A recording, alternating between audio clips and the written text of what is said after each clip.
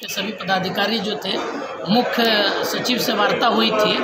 कुछ वार्ता उसमें हुई थी और हम लोगों ने घोषणा किया था कि अगर एक महीना में हमारी मांगे नहीं होगी तो एक दिसंबर से हम लोग हड़ताल पर जाएँगे। लेकिन राष्ट्रीय फेडरेशन के पदाधिकारी एक जनवरी से हड़ताल पर जा रहे हैं और पूरे भारत की बात है।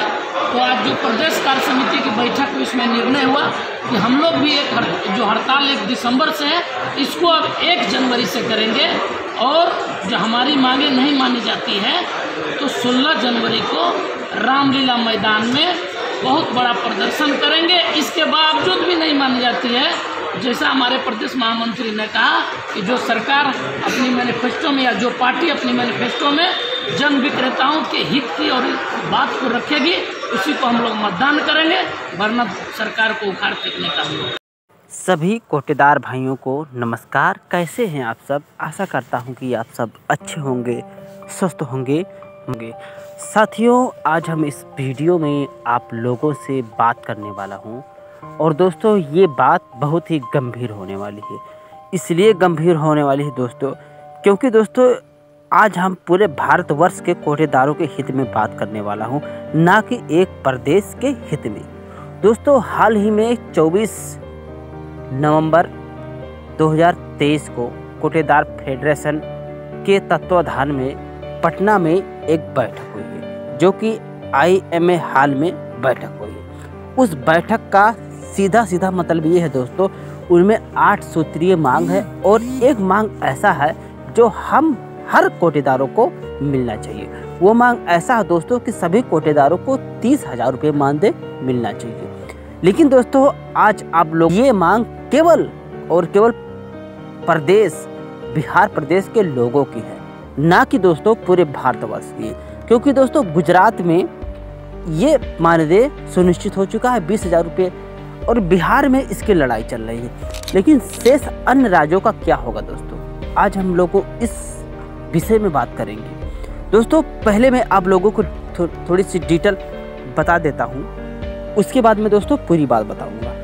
दोस्तों, आपको बता दूँ कि Bihar fair price leader association के प्रदेश स्तरीय कार्य समिति की बैठक आईएमए हाल पटना में हुआ। प्रदेश कार्य समिति में सर्वसम्मति से निर्णय हुआ कि 1 दिसंबर से प्रवासी हड़ताल को स्थगित करते हुए राष्ट्रीय फेडरेशन के महासचिव बिशंबर बसी द्वारा राष्ट्रव्यापी हड़ताल को समर्थन किया। अब पूरे बिहार के पचपन हज़ार विक्रेता राष्ट्रीय महामंत्री बिशंबर बसु के आह्वान पर बिहार फेडरेशन प्राइस डीलर्स के एसोसिएशन के प्रधान महामंत्री अरुण कुमार सिंह के नेतृत्व में एक जनवरी के लिए अनिश्चित धरना काल का धरना प्रदर्शन देगा। कहने का मतलब ये है दोस्तों कार्य में ही क्यों लागू होगा? और प्रदेश और प्रदेश के जो एसोसिएशन के लोग हैं कोटेदार हैं, क्या चूतियाँ हैं? क्यों राशन बांटने के लिए बैठे हैं? दोस्तों, समस्या बहुत गंभीर है। कहने का मतलब मेरा ये है कि बिहार में नहीं, पूरे प्रदेश में अगर मानदेय लागू होगा, तब हम वो लोग उसका समर्थन करेंगे। अर्थना, अर्थात हम उस लोगों का खंडन करेंगे जो ये लोग मांग कर रहे हैं। क्योंकि दोस्तों, अगर जब तक पूरे प्रदेश के, यानी कि पूरे देश के कोटेदारों का मानदेय सुनिश्चित नहीं होगा, तब तक हम लोग इसका समर्थन नहीं करेंगे।